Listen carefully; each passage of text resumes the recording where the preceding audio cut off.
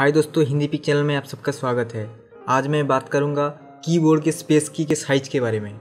आपने एक चीज़ ज़रूर देखा होगा कि सब कीबोर्ड के स्पेस की बहुत बड़ा होता है और दुनिया में जितने भी कंप्यूटर कीबोर्ड है, सबका स्पेस की, आदर्श की से बहुत बड़ा होता है। पर ऐसा क्यों होता है? सब कंप्यूटर कीबोर्ड में स्पेस की, आदर्श की से इतना बड़ा क्यों होता है? तो चलिए, मैं आपको इसका असली कारण बताता हूँ।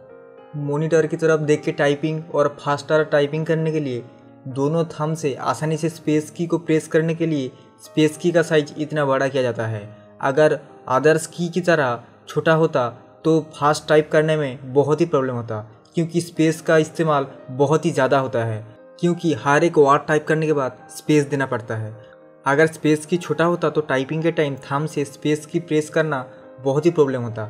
कीबोर्ड के चारों तरफ़ टाइप करना और दोनों थम से जब चाहे स्पेस की को प्रेस करने के लिए स्पेस की का साइज़ कंपनी की तरफ़ से इतना बड़ा किया जाता है। चाहे कीबोर्ड के दोनों तरफ़ कोई भी कैरेक्टर और लेटर प्रेस करके टाइप क्यों ना करो, पर दोनों थम स्पेस की के ऊपर ज़रूर रहना चाहिए, ताकि एक वर्ड कंप्लीट होने के बाद जल्दी से कोई भी थम प्रेस करके स्पेस दबाया जाए। इसीलिए कंप्यूटर कीबोर्ड में स्पेस की का साइज़ बड़ा होता है, क्योंकि स्पेस की का बड़ा होना टाइपिंग के लिए बहुत ही ज़रूरी है।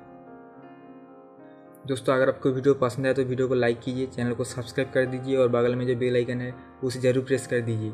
ये वीडियो देखने के लिए thank you so so much